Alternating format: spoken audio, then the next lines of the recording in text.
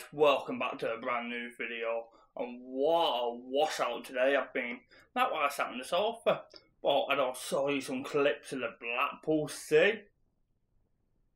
And as you can tell, the waves and the winds is back again. Oh, we don't have a whole other storm. You don't expect it in August, surely. But there've been two events being cancelled today. You got the lifeboat opening day being moved onto the 31st, and also the Elvis one on Stanley Park. What a shame. Me and the Blackpool lad who sat right outside of me were going to do that one. So we'll need to keep a lookout to see when it on next. But I thought, why do not treat ourselves a little bit today? The weather horrible, but it don't mean it all need to be gloom and doom. The desserts what I saw you done to make your mouth water. Yeah, so I mean, it's a shame about the events. We didn't get a bit of a glimpse of the uh, the car show. So it started at ten o'clock, and yourself and my, myself, we got a bit of a glimpse. But then the weather just turned ugly and horrible. The R and L was cancelled, like Jason was saying, and uh, it's been a complete washout. The winds are getting up, the tides most likely going over the promenade again. So uh, yeah, we thought we'd indulge in the uh, sticky chocolate shop again so we grabbed something before, but we've got a few more selections just to show you uh, how gorgeous they are. If you haven't tried it, have a look at this video, and Daly's going to do a bit of a bit of review uh, and get yourself down there. So I went into the shop. It's been open for eight years, and they've got two stores. They've got one in Lytham and one in Blackpool, and everything all freshly made on the day. So I went in and asked them for the three best sellers.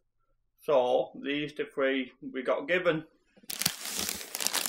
First one is um, a chocolate brownie. So we'll give that one a try first. They do look tempting, don't they? Oh, thanks. And they've been it eight years? And they actually, I just reading on the on the website as well. They even do um, deliveries for Christmas. So uh, yeah, amazing. Um, Nice, it's nice and mm. soft. say it's a good one inch thick. Mm. mm. Yeah. Not too much chocolate on the top, but not too less. When you bite into it, mm. it all crumbles. Mm. So, well, go quite nice. A bit of ice cream or custard as well. Oh, with a nice cup of coffee. Mm. So the next one is at Old Audio Cookie, I'll say. Yeah. What do you say? And we did ask, um, we did ask them, are these hard or soft? Instead, they're actually nice and soft, which is fantastic. A lot of people get cookies and they're really hard and you know, they can damage your teeth, but these are um, really nice and soft, which is uh, which is great. So yeah, I'll try a bit of a try a bit of this one. As you probably could tell, I was just breaking into it so easy compared to trying to do full blown break it. Like, I've been there plenty of times before where I have the cookie, went to snap it in half, but it ends up like. mm. Mm. And you can certainly tell the um, all the flavours. You get that nice aftertaste in mm. your mouth as well, which is great. I mean, again, this is got to be half an inch thick. Really nice. Mm. You oh, certainly yeah. are. So, this look like we got the chocolate Nutella. Little uh, little mice with tails, you know, with the straw tails. Who remembers those? That's how uh, amazing the shop is. Let's have, a, let's have a go at this one. Yeah, not chocolate Nutella, by the way. Mm. A bit more of a crunch to this one. Mmm, around the edges. Mmm. Mmm. But sometimes you don't mind that bit of crunch. At no. least it ain't crunchy in the middle. I do like a soft cookie in the middle. Mm. And again, you know, it's got to be half an inch thick that. Mm. It's really nice. I couldn't help myself but get three of the top selling fudges. There, get them out of the bag and have a look at the fudges. Mm, I think I'll let you have a try these. I'm still eating this cookie. You give me a piece. Look at that. I'm not too sure which one all this a Terry chocolate look like. Mmm. What do you say? Oh yeah, show the camera. Look at that. Mmm. And just look at the thickness. Not even, just look at the thickness on And that. that's got to be an inch and a half thick.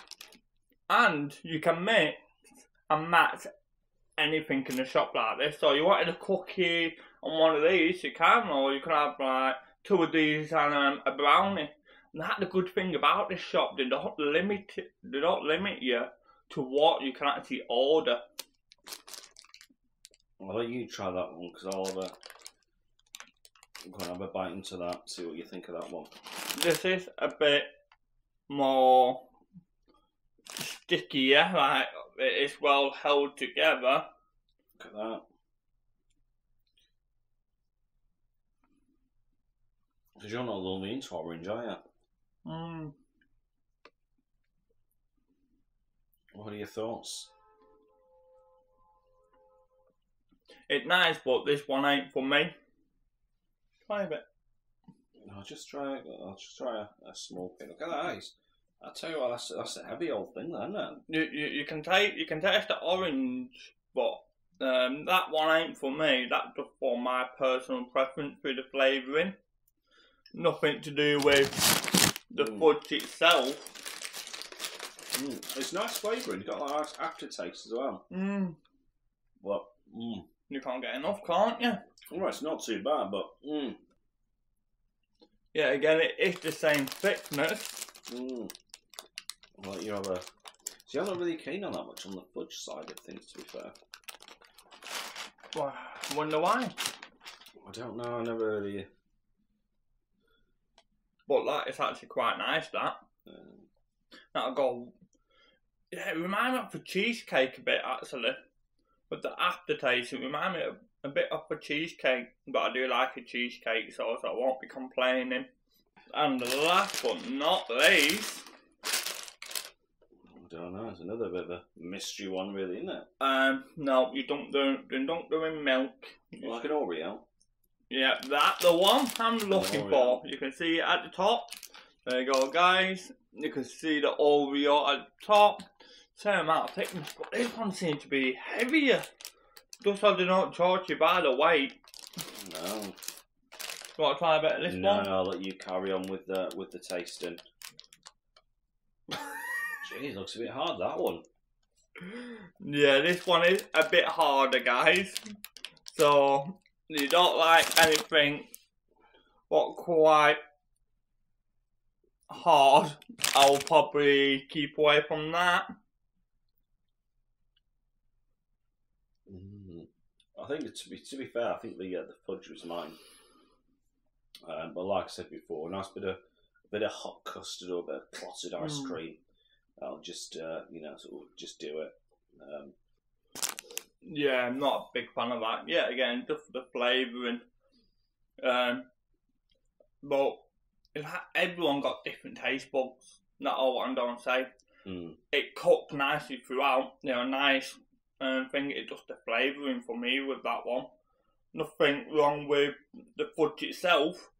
But yeah, I was a big fan of the flavouring. I just can't believe the price on these.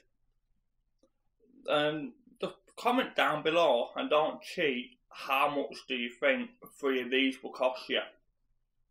I think we've already told them. I think we've already told them the price. That's why I said it's, it's, it's quite expensive, but it's quite a good value for money. Did we? I think. Well, I think I did. I think I opened my big mouth. And if you said three for ten pound, you are correct. You can mix and match any cookies or fudge free for ten pound. Hope you enjoyed that this uh, this review, and it's very good of you to uh, to treat me as well. Right then guys, if you did enjoy this video then please give it a big thumbs up. And if you want to see any more videos like this one, hit the subscribe button. And don't forget to turn on the notification bell so you can be the first one to watch a new video. Take care. I hope you all have a good week. Bye for now. Bye bye. Bye bye.